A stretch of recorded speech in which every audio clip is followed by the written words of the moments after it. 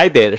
This is Anoop. Today we are going to talk about issue that got highlighted in all the communities related to Windows 10 June patch KB502-7215. That patch is causing some confusion among end users. When end users restart the computer after the installation of this particular patch, after logging back to Windows, they will get a OOBE style screen. And in that screen they need to select some options related to windows hello for business. So that is bit confusing even though it is not very critical issue. It is bit confusing and it can cause lot of help desk calls etc etc so we will see how to avoid this situation. All these are coming from the community. We are yet to hear from microsoft on this issue. Do check out the description of the video to get more details or more updates leads on this issue. So don't skip it. Let's go ahead and check this out. Let's have a look at one of the issues with Windows 10 June patch KB5027215. There's no reports related to Windows 11 on this particular issue. We have seen only the reports for Windows 10 devices. This issue happens only if you have configured Windows Hello for Business on your Windows 10 devices and there's some workaround provided by community. Microsoft has not acknowledged it yet and check out the description of the video to get the latest information on this issue. Let's go to the next slide. What is the exact issue?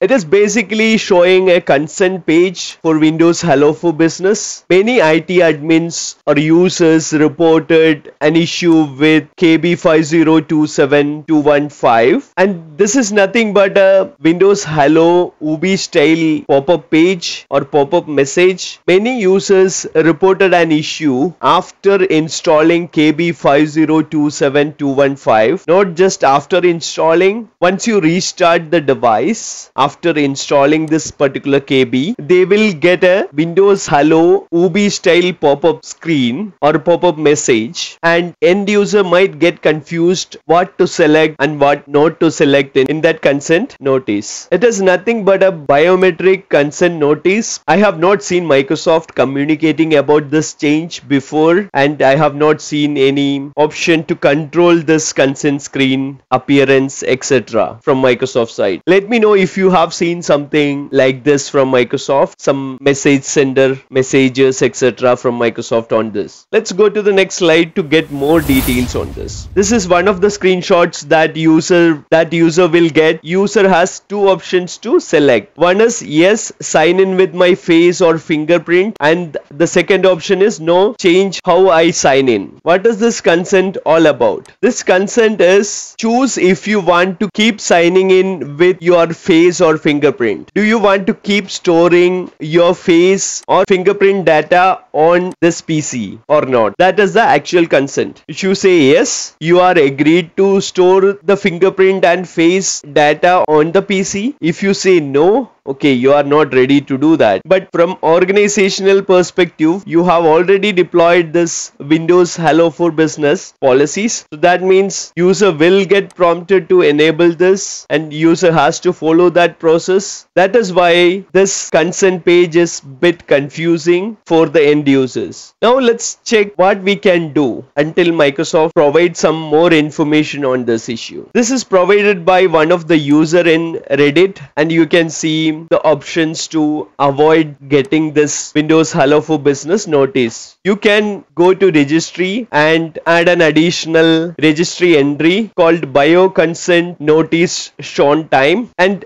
the tricky part over here is getting a hexa value for the timestamp. I think you can have any timestamp hexa value but I would recommend you to test this before implementing it in production etc. And there are some tools available. I don't know whether these tools are 100% reliable or not but this is just for a quick testing purpose. You can use some of these tools to get the hexa value for the timestamp etc. And you need to deploy this registry fix before installing the KB article. One more catch is that if you delete this registry then the prompt will again appear. Now let's go to the next slide. There are discussions in Reddit that okay whether this is a government requirement or not but there is no confirmation on this. And if it is required from a local government then it should be applicable only for those regions or those countries not for global audience. So there are some interesting discussions in reddit. I will add the reddit link also into the description of the video so check that out. Now we are still waiting for the confirmation from microsoft on this issue. If you want to have a quick fix on some of the devices that you already